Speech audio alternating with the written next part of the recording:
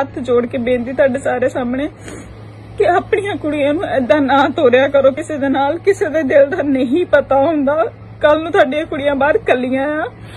ਕਿਸੇ ਨੇ ਸਾਥ ਨਹੀਂ ਦੇਣਾ। ਇੱਥੇ ਕੋਈ ਵੀ ਨਹੀਂ ਨਾਲ ਖੜਦਾ। ਭਾਵੇਂ ਲੱਖ ਰਿਸ਼ਤੇਦਾਰ ਹੋਣ, ਜੋ ਮਰਜ਼ੀ ਹੋਣ, ਕੋਈ ਵੀ ਤੁਹਾਡੇ ਨਾਲ ਨਹੀਂ ਹੁੰਦਾ। ਆਪਣੀਆਂ ਕੁੜੀਆਂ ਨੂੰ ਨਾ ਭੇਜੋ ਏਦਾਂ। ਆਪਣੀਆਂ ਕੁੜੀਆਂ ਨੂੰ ਪੜਾਓ ਲਿਖਾਓ, ਆਪਣੇ ਦਮ ਤੇ ਬਾਹਰ ਭੇਜੋ, ਜੇ ਭੇਜਣਾ ਤਾਂ।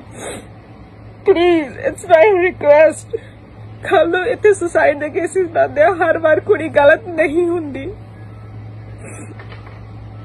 ਮੈਂ ਕਹਿਣਾ ਚਾਹੁੰਦੀ ਕਿ ਅਗਰ ਮੈਂ ਕੱਲ ਨੂੰ ਕੁਝ ਕਰ ਲੈਣੀ ਆ ਤਾਂ ਪਲੀਜ਼ ਮੇਰੀ ਵੀਡੀਓ ਨੂੰ ਵਾਇਰਲ ਕਰ ਦਿਓ ਤਾਂ ਕਿ ਉਹ ਜਿੱਥੇ ਵੀ ਯੂਐਸਏ ਦੇ ਵਿੱਚ ਹੈਗਾ ਐਟਲੀਸਟ ਇਮੀਗ੍ਰੇਸ਼ਨ ਉਹਨੂੰ ਫਾਈਂਡ ਆਊਟ ਕਰ ਸਕੇ ਤੇ ਉਹਨੂੰ ਉਹਨੂੰ ਉਹਦੀ ਗਲਤੀ ਦੀ ਸਜ਼ਾ ਮਿਲ ਸਕੇ ਜੋ ਉਹਨੇ ਕੀਤੀ ਆ please I beg you share ਕਰ ਦਿਓ ਇਹਨੂੰ ਸਤਿ ਸ਼੍ਰੀ ਅਕਾਲ ਜੀ ਸਾਰਿਆਂ ਨੂੰ। ਤੁਸੀਂ ਅੱਜ ਤੱਕ ਸੁਣਿਆ ਹੋਣਾ ਕਿ ਲੋਕੀ ਫਰਾਡ ਕਰਦੇ ਸੀਗੇ।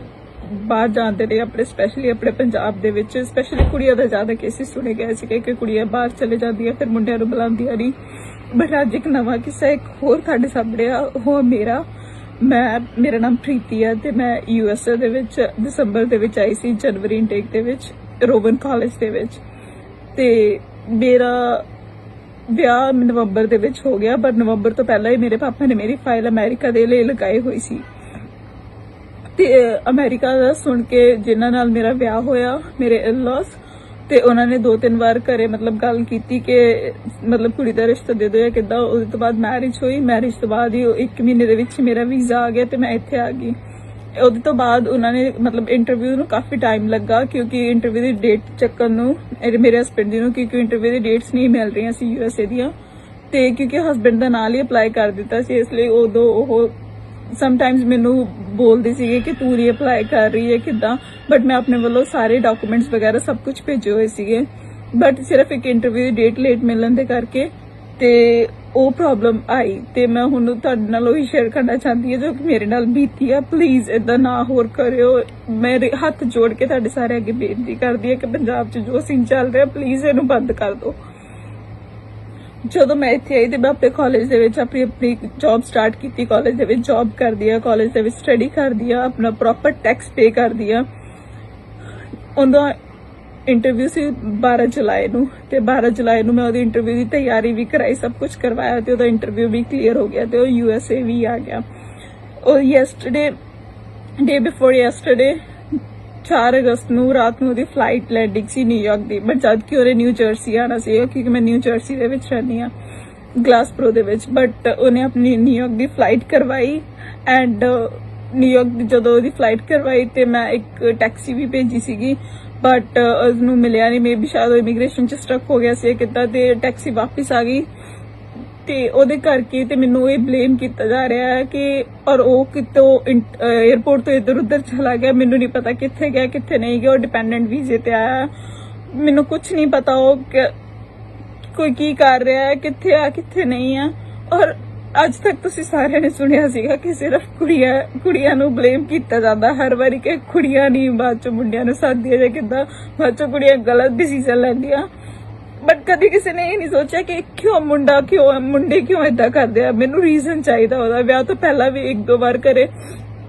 ਲੜਾਈ ਜਦੋਂ ਝਗੜੇ ਹੋਏ, ਮੇਰੇ ਤੇ ਹੱਥ ਵੀ ਚੁੱਕੇ ਗਏ ਡੋਮੈਸਟਿਕ ਵਾਇਲੈਂਸ ਵੀ ਹੋਇਆ ਬਟ ਕਿਸੇ ਨੇ ਕੋਈ ਗੱਲ ਇੰਡੀਆ ਦੇ ਵਿੱਚ ਨਹੀਂ ਚੱਕੀ ਇਸ ਨੂੰ। ਬਟ ਮੇਰੇ ਕੋਲ ਸਾਰੇ ਦੇ ਸਾਰੇ ਪ੍ਰੂਫ ਵੀ ਪਏ ਪਏ ਆ। ਬਟ ਹੁਣ ਮੈਨੂੰ ਅੱਜ ਸਵੇਰੇ ਹੀ ਕਾਲ ਆਈ ਸੀ ਉਹਦੀ। ਥੋੜੀ ਦੇਰ ਪਹਿਲਾਂ ਹੀ ਜਸਟ ਅੱਧੇ ਘੰਟੇ ਪਹਿਲਾਂ ਹੀ। ਜਸਟ ਬਿਕੋਜ ਆਫ ਕਿ ਮੈਂ ਆਪਣੇ ਪੇਰੈਂਟਸ ਨੂੰ ਕਹਿ ਦਿੱਤਾ ਸੀ ਕਿ ਕਿ ਮੈਂ ਲਾਸਟ ਦੋ ਦਿਨਾਂ ਤੋਂ ਮੈਂ ਨਿਊਯਾਰਕ ਦੇ ਵਿੱਚ ਆ ਕੇ ਉਹਨੂੰ ਬੇਵਕੂਫਾ ਦੀ ਤਰ੍ਹਾਂ ਲੱਭ ਰਹੀ ਹਾਂ। ਕਦੇ ਪੁਲਿਸ ਸਟੇਸ਼ਨ ਜਾ ਰਹੀ, ਕਦੇ 에어ਪੋਰਟ ਜਾ ਰਹੀ ਹਾਂ। ਮੈਨੂੰ ਕਿਤੇ ਨਹੀਂ ਮਿਲ ਰਿਹਾ। ਤੇ ਮੈਨੂੰ ਹੁਣ ਸਮਝ ਨਹੀਂ ਲੱਗ ਰਿਹਾ ਮੈਂ ਕੀ ਕਰਾਂ, ਕੀ ਨਾ ਕਰਾਂ। ਬਟ ਮਾਰਨਿੰਗ ਮੈਂ ਡਿਸਾਈਡ ਕਰ ਲਿਆ ਸੀ ਕਿ ਬਾਕੀ ਕੇਸਿਸ ਦੇ ਵਾਂਗੂ ਮੇਰੇ ਕੇਸ ਦਾ ਵੀ ਸ਼ਾਇਦ ਸੁਸਾਈਡ ਹੀ ਇੱਕ। ਆਪਸ਼ਨ ਆ। ਮੇਰੇ ਕੋਲ ਲਾਸਟ ਮੇਰੇ ਕੋਲ ਹੋਰ ਕੋਈ ਆਪਸ਼ਨ ਨਹੀਂ ਹੈਗਾ।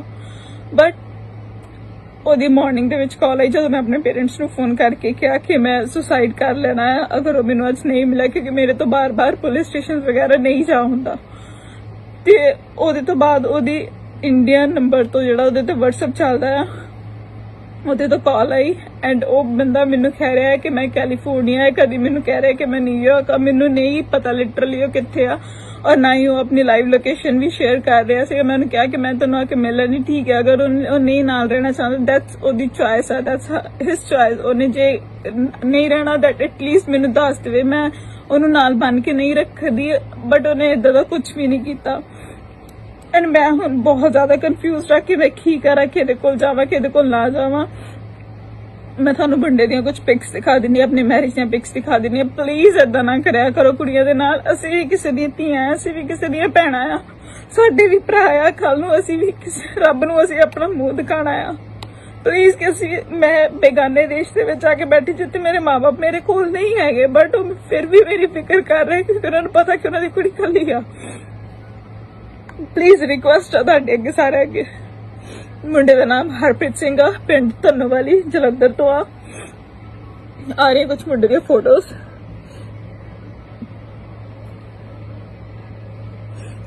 ਮੁੰਡੇ ਨੂੰ ਹੈਪੀ ਮੁੰਡੇ ਦਾ ਨਿਕਨੇਮ ਹੈਪੀ ਆ ਇਹਨਾਂ ਨੂੰ ਕਾਕਾ ਕਾਕਾ ਵੀ ਕਹਿੰਦੇ ਆ।